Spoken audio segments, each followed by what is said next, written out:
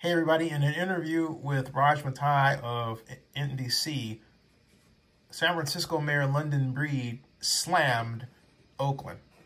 You got to hear this. Lady win there. I spent more than an hour with the mayor this afternoon at the Commonwealth Club in San Francisco. Uh, we mentioned Mark Farrell, the mayoral candidate. He told me last week if he's elected, he would fire the police chief, Bill Scott. Here's Mayor Breed's response. But you know what will happen if he leaves? This commission will be responsible for sending three names to the mayor.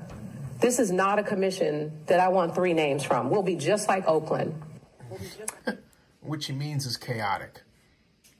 That's what she means. So there you are, Oakland setting the negative reputation yet again.